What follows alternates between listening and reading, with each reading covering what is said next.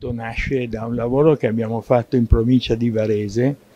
rispetto alle situazioni di estrema emarginazione e, e volevamo fare due riflessioni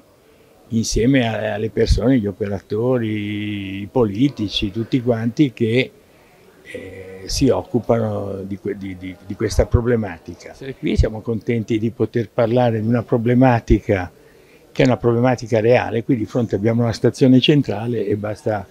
vedere chi, chi bivacca quotidianamente alla stazione centrale e, e capiamo cosa vuole dire estrema emarginazione. Noi abbiamo preso in esame la provincia di Varese soprattutto e alcuni episodi eh, che riguardano sia l'emigrazione ma che riguardano anche l'estrema povertà e le, le, persone che pensano di non avere un posto e una collocazione in questa società. E vogliamo così un po' sensibilizzare eh, da una parte le istituzioni che eh, trovino strategie politiche eh, per fronteggiare questo problema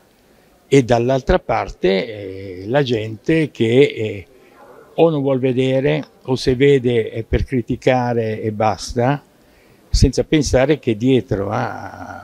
alle persone che incontriamo che vivono quello stato di emarginazione c'è un essere umano. Allora credo che il convegno di oggi faccia il focus su una tematica molto importante perché spesso noi parliamo della Lombardia come il motore dell'Italia, uno dei quattro motori d'Europa, eh, una regione traino e sicuramente lo è, ma eh, purtroppo questi anni hanno creato anche e hanno implementato purtroppo il disagio di tante famiglie e il numero delle persone che da uno stato magari di difficoltà sono purtroppo scivolate nella povertà, purtroppo anche in Lombardia è in aumento. Eh, questa cosa ci deve fare riflettere e tutta la politica ne ha sicuramente già preso atto, ma ci servono risposte immediate, urgenti, eh, perché le difficoltà sono purtroppo estremamente attuali. Beh, la sfida più importante è non fermarsi alla tossicità,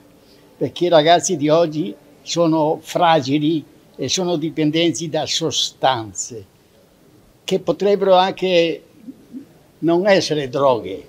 sono sostanze, hanno bisogno di andare fuori di testa. E quindi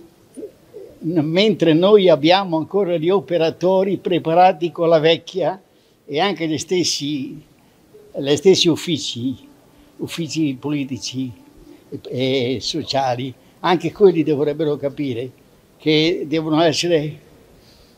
più aperti anche all'accoglienza. Perché chiamarlo tossico, il ragazzo di, di 16 anni oggi, bene 17-18 anni, non è tossico, è fragile, è dipendente da sostanze ma potrebbero essere qualsiasi sostanza, l'importante è che vada fuori di testa. E quindi c'è quasi sempre, quasi sempre l'alcol. Ecco, e quindi bisogna assolutamente, uno, che la, gli uffici pubblici siano più aperti nell'accoglienza e bisogna che noi prepariamo gli operatori soprattutto dal punto di vista educativo, non soltanto terapeutico, ma dal punto di vista educativo. Queste sono le due cose poi la terza cosa è vorrei che abolissero i carceri minorili e ci fosse il carcere minorile fosse una specie di SOS, una specie di pronto intervento come l'ospedale. Sta dentro quei 15 giorni da capire e poi creare delle comunità dove si possono mettere tre o quattro, non di più, va bene? E io sogno questo.